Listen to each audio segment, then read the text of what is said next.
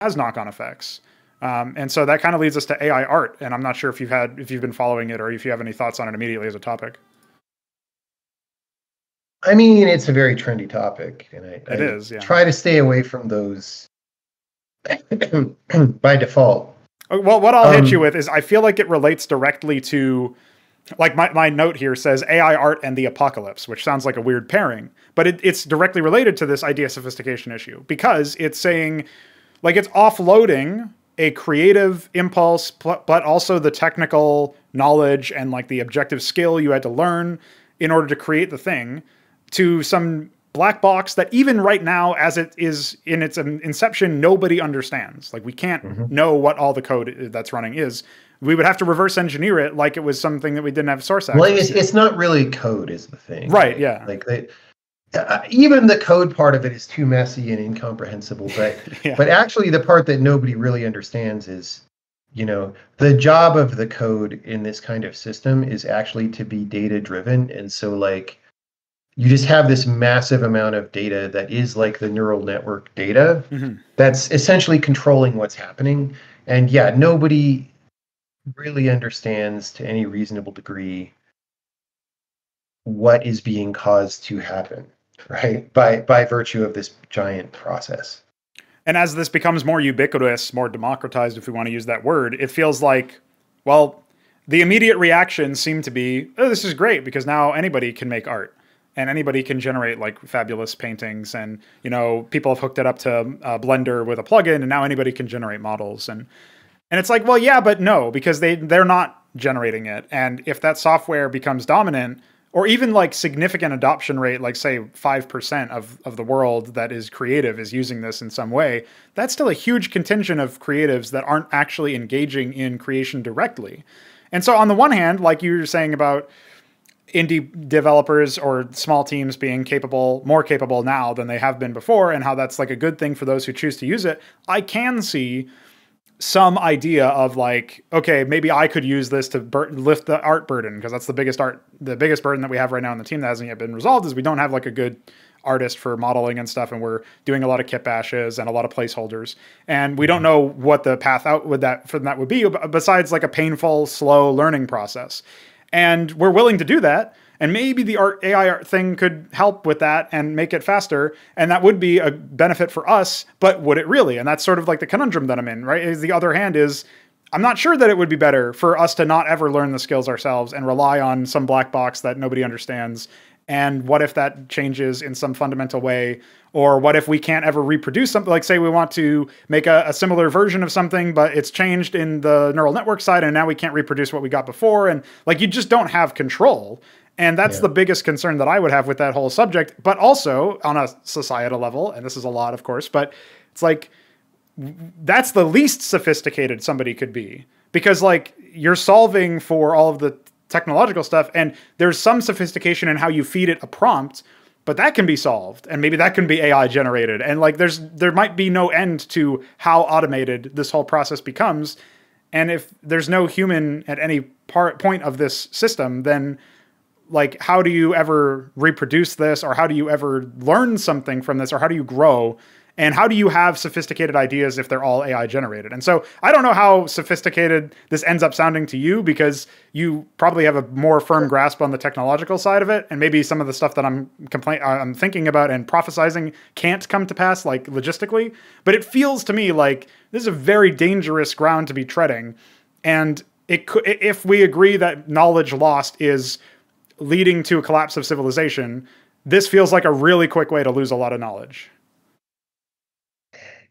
Yeah, I mean, here's what I'll just give you what I think about all these issues, which is, I will say in advance, is not really tied to any kind of definite conclusion. And the reason why is because, look, we're pretty early in whatever this thing is.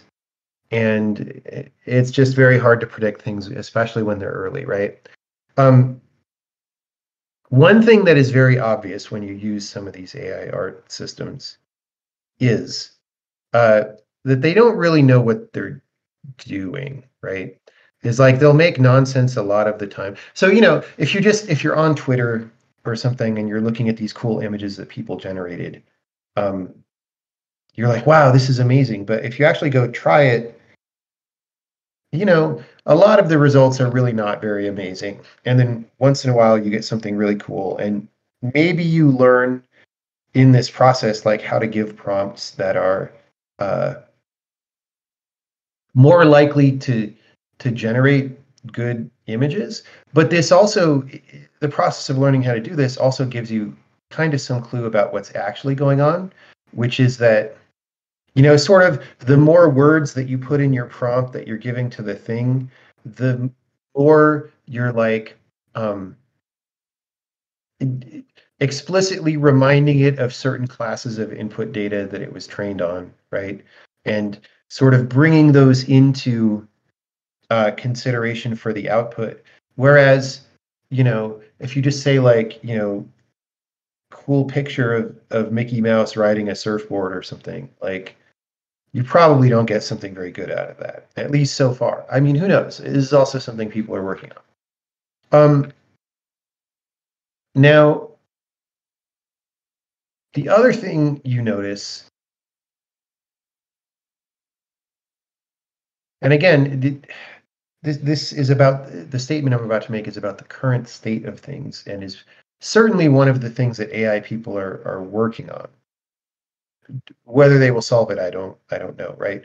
But there's definitely um, in these kind of generated images there is a lack of coherency that happens um, unless it's a kind of a coherency that happens because like all the images it was trained on were coherent in a certain like way right? So like if a lot of people learn to paint by like copying Thomas Kinkade paintings or something, right? And so that therefore you have a hundred thousand input images that all sort of do a certain thing. Um, then it's pretty easy for one of these systems right now to like give you a, a different variation that that is like that. But um, what I mean by inconsistency is like, you know, if if this image is about the reflection of the moon in the water, like I don't know, that you prompted it with that in some way, like to what degree do all of the elements in the image support or detract from that like ostensible point of the image right?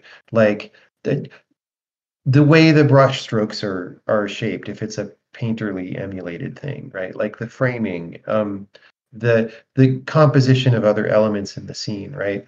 Um, the the thing that we end up seeing is like to the extent that these things end up coming out well in the output of of one of these queries, it's because generically they come out well because like everybody on the internet who does all these images or whatever um,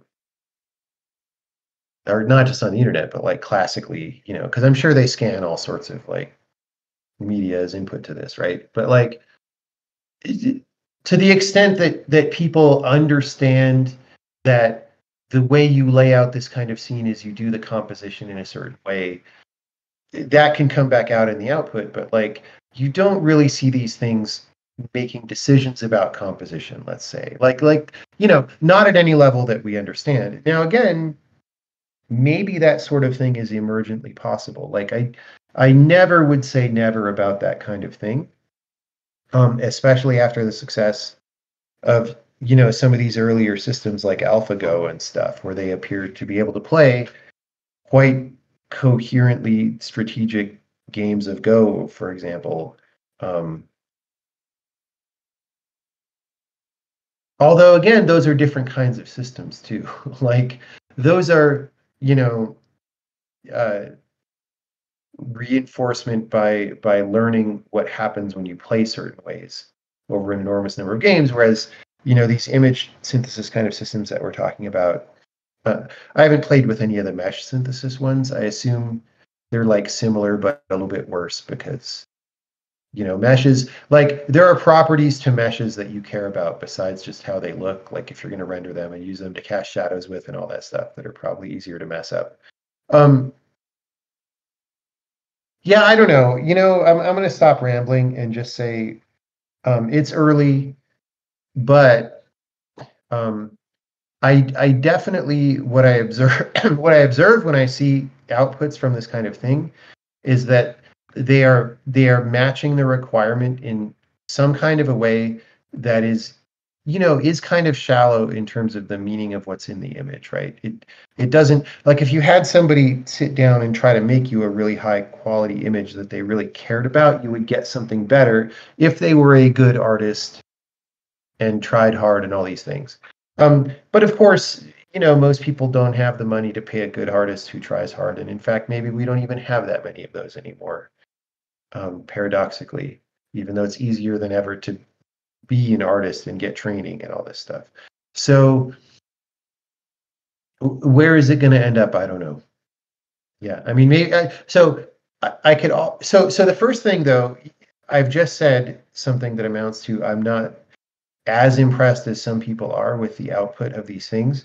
I do want to make clear, technically, it is super impressive, right? Um, like you know even five years ago i would have had no reason to believe that you would be able to do what these systems are able to do now technically. So that's a huge advance. But that's different from like why do we look at images right? And what are we getting from what we look at images? And what is the content of the image that we find make that makes it worth looking at right? And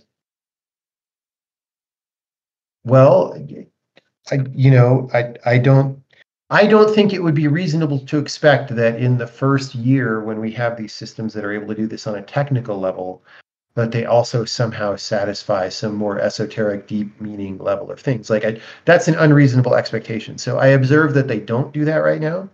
Um, that doesn't mean that they won't eventually. Um, I don't know.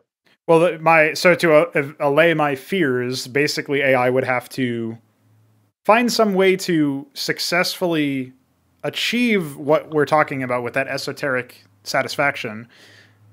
And I just feel like it probably won't ever, which maybe is fallacious, right? Maybe that will bear, bear, out as incorrect. But also, I don't know how to assign a probability to that. Like if right, I ask yeah, myself, yeah. I'm betting a hundred dollars, I yeah. don't, I don't know how to bet it.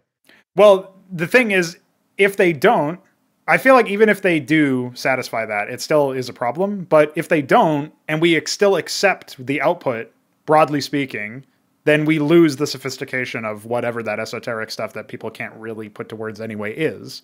Like we don't even experience it anymore. And I feel like that to to use a term that is probably or a, a word phrase that's probably going to draw ire, we become less human if we don't have access to some way to interface with that aspect of life, of art. If art, if most of the art is going the trend of like Marvel movies and bad yeah. games and whatever else, like pulpy stuff that is not even really like good of its time, but it's you know you you get the idea. If if that's the direction things are heading, and then like we don't even get whatever little shines through from one individual's effort on that team because now there's no yeah. individual; it's an AI and that becomes a trend in general to use as as parts. Like another example would be people the average consumer forgets that when they play a game, it was somebody's job, which they were paid for and ostensibly cared about, to assemble every pixel on the screen in some way or, shape or form, right? People don't realize that that texture that's really bad and has low texel density relative to everything else was made by a human and placed there by a human. Maybe not the same human, but they, it was all done that way. It, so games already kind of start to feel like they're generated amorphously and people offload that to like oh i guess like the company writ large didn't try here. So they like individuals are already sort of out of the picture for most people's understanding if they even think about that critically at all. And so if you get to the point where now it's not true that a human was responsible for assembling all of this stuff then you can never and you also take the uh, the principle or the the idea that the the prediction that ai won't be able to satisfy this esoteric nature then we get to a point where you can't even have like one area of the game that looks like it, somebody really tried. It's all going to look like an AI because it already kind of does is sort of what I'm getting at. And maybe maybe that's not true. Maybe that's contentious that it already kind of does. But I feel like in most games I play, AAA games that are going for this realism uh, angle where they're trying to almost look like an ancestor simulation or look like mm-hmm. real life, they do so, but as soon as there's one thing that's not as good as everything else, it all falls apart. And it's going to be very attractive for game developers and publishers to use some sort of thing that will make the consistent the, all the asset quality as consistent as possible because that's hitherto been un like just never seen right and so that's something that I do fear for games, but I also think that it extends to other mediums as well. Yeah. Well, there's there's a flip side of this that actually might come out well. So I agree okay. with you. I agree with you that a lot of games look like they're AI generated, right? Yeah. like I was watching the, you know, whatever the new mode for Call of Duty was that, you know, and it's yeah, like it looks like Call of Duty fine. Whatever that means, right? right? Whatever Call there's, of Duty looks like. There's very little surprise there in what you see on the screen. I'll right. put it that way, right? Um, but part of the reason that happens, so you know, there are probably some higher level tools that are being used on these big teams. There's quite a few that are like procedural synthesis kind of tools. Very few of them we would classify yet as the kind of AI that you're talking about, but I, I would expect it's reasonable to expect that those kind of tools will become much more pervasive in the future, right? But the thing that makes these games generic right now is not even really the use of these automated tools, although I'm sure it helps. It's just that you've got a very large team of people doing a thing, and there's like not a lot of voice happening in terms of it, like an opinion of how things should look that's not generic, right? And and that's just the thing that naturally happens as teams get really big, um, and as bu- budgets go up, right? Because you could you could have a creative director that's like, this next Call of Duty is going to be super crazy, man, and and like he'll get fired, right? Um, so, which again, paradoxically, may be part of what's killing this series over time, right? I mean, it still is one of the most successful franchises, but like it's going to die eventually. Um, actually, I don't know if it's still one of the most successful. Right? It's hard hard to say.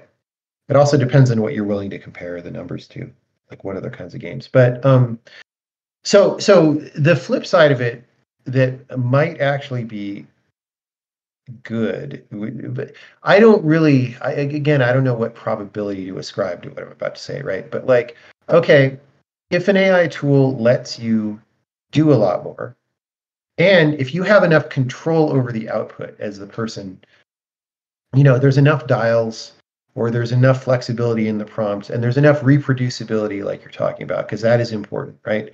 If you are, as the person prompting the generation system, if you have enough control to have expressivity in a reasonable way over what gets generated, and maybe sometimes that just means we generate 50 things and you pick the one that's closest to what you want. Like that's one way of doing this. But that can enable games to be made with by fewer people, which has been the trajectory. Like over the entire history of games, it's been smaller teams have been able to do more. It's just that we counterbalance that by making them huger than ever before, right? And so we keep expanding out as the capabilities keep expanding. Um, but like, if a smaller team can make what today it takes a team five times the size to make, which is not an unreasonable expectation, that just means you get back more flexibility for individuals to have a say in what's in the thing, right? It's no longer like the bank gets to say what the game is. It's like the team gets to say what the game is. And that's one step closer, right? Now, maybe the dude at the same time, the reason I don't know how much of a probability to assign to this is like I just got a fucking Android phone a few weeks ago that seemed cool. It like folds out and has a super big screen, and that's nice. I cannot type text messages on this phone because the autocorrect is so overzealous it like changes entire sentences for like one character typos and there's no mode to put into it that's like fix only the one character typos right and so i just have autocorrect turned completely off and it's the most frustrating experience it's like why is this so bad, right? So we seem to be even with simple stuff like that, we seem to be terrible at designing it. Um, so like, why do I think we can design these more complicated systems to be more amenable to expressivity, right? It's um, like again to go rant about spell check because I use iOS spell check as well for years. Like it's so pompous, it doesn't even give you a thing that says undo this thing I just changed. It's like literally just changes it and says fuck you. If you don't like that, delete the last three words you typed and type them again. And then it fucking changes it again. Like you have to do it three times sometimes. It's like we're so bad at simple like characters in a row. Like why do I think that we're going to be better at, you know, generating meshes for a 3D game? I don't know. But we'll see.